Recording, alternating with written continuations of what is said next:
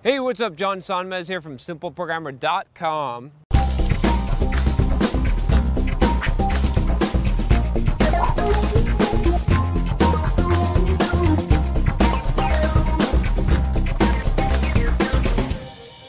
Hey, I just want to give a quick thanks to one of our sponsors at Simple Programmer, which is Dev Mountain Bootcamp. You should go check them out. The link is in the description. They are a coding bootcamp and they can teach you web development, iOS development, UX design, a lot of good stuff. I get a lot of feedback from a lot of you out there that email me and have told me about Dev Mountain, so I decided to check them out myself. And I, I like what I found. I like their programs. They offer uh, some 12 week intensive programs. They also offer some after hours programs, which I know that some of you will like. So go check them out. You can see the link in the description below, Dev Mountain Bootcamp, and a big thank you to them for sponsoring Simple Programmer. So I got a question about software versus game development. This is something that I've uh, addressed a few times. I think we should probably have a game development playlist by now. Uh, you, you could check that out if you want to see my answers to questions on game development. I, have I've never actually been a professional game developer, although I have developed some games and I have taught some Pluralsight courses. Uh, so this question is from Dugukan, Dugukan, I think, and he says, Hey John, I know you've answered some game programming topics, but mine is a little different. I'm 16 and I have a passion for game programming, but in my country there isn't a lot of jobs, but there uh, are for software development. Okay, so awesome that you're 16 and you know I wish I would have gotten a, a start like some of you have that I get emails from from some of you that are 14, 15, 16, 17. That's pretty awesome. Uh, so he says, my question is, which should I choose? I would much rather prefer game development, and if I'm going to pick one, I have to give my full focus on becoming the best of that. Damn right. Good. I, I, like your attitude. You have to give your full focus on becoming the best of it. That's, I totally agree. Uh, I thought about going abroad, but I don't know what is life actually like there. I need your help. Uh, so additional info, I'm 16 proficient in C++, memory management, AI, and Unreal Engine 4. Wow, that's, that's quite a resume at, at 16. So, okay, I'm gonna, I'm gonna start off by recommending a book that you should read, which is a book by Cal Newport. It's called So Good They Can't Ignore You. Uh, and that book is all about choosing choosing your career, essentially, choosing the path in life that you go, not necessarily based on your passion. Now, I'm not saying that that you're, you're choosing based on your passion, right? I mean, obviously, you're a pretty logical guy, pretty smart to say that whatever you're going to do, you're going to be the best at it. I, I totally like that approach. But that book might help you, and it might help some of you out there that are really like, oh, I got to find my passion, and you know, trying to figure out what makes sense. Because one of the really good things that he says in this book is he's basically like, you know, he's basically like, look, pick the thing that's going to make the most logical sense for what you're trying to achieve in life. That's going to give you the kind of life that you want, not necessarily the thing that you love so much. You know, keep that as a as a side job, right? Uh, but but essentially, like pick the wisest choice. Okay. So the the reason why I'm saying that is because in your situation, if in your country, if you want to stay where you're at, there's really not an opportunity for game development, but there's a lot of opportunity for software development in general you might want to just pick that, okay? You might want to say, you know what, maybe I'll do game development as a hobby or on the side, right? And, but I'm going to put my full focus in, into software development, specifically niche down eh, as well, right? So I'll give you a link to my blog or my blog course. I've got a blogging course on how to create a blog, to boost your career. And I talk about how to niche down in that, uh, but that's really important. So when you just say software development, I, I don't think that's good enough. Even when you say game development, you need to niche down further if you're going to go down that route.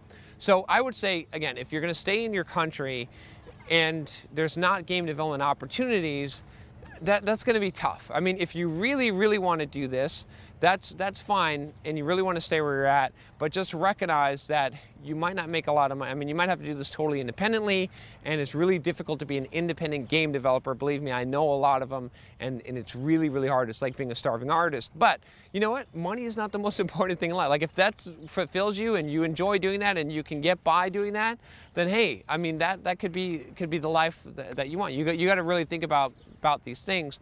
But I would also say that if if this really is your passion, and I shouldn't use the word passion because I just, just pointed you to the book where, where it said don't follow your passion, but if this is really what you want to do and you're willing to pay the price for it, and, and this is the thing that you feel is your purpose, and that you feel like game development is just the thing that you've got to be doing, then just go abroad right? If you have the opportunity to, yeah, it might be scary. Yeah, you might not know what to expect. Yeah, but you know what? In, think about it like this, right? Sometimes I try to fast forward my life so that I can get perspective. And I say, well, what's it going to be like in, in, in three years from now, right? When I first started this YouTube video, and I was like committing to doing a couple videos a day, right? And I up that. I was like, man, that's a lot of commitment. That's a lot of right? It's, it's hard to come up with ideas. I'm nervous in front of the camera.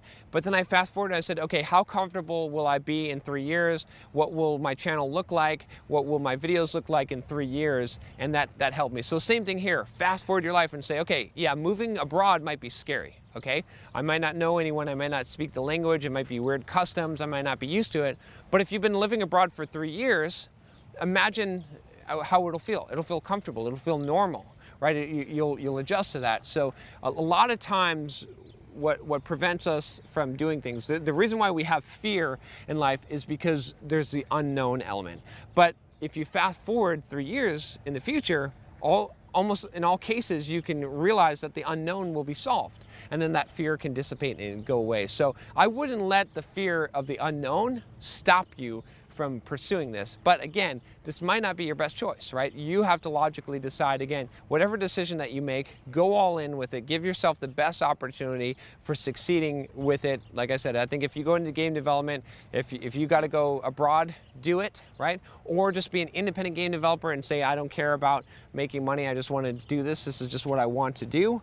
And that's, that's totally fine. Make that choice. Or just say, hey, look, I want to, I'd, I'd like to do game development on the side, but it's not practical, it's not pragmatic. I want to have other things in life and I want to be successful in my career, so I'm going to go in software development in my country and I'm going to devote my focus to that and then, you know, I'll maybe do some game development on the side.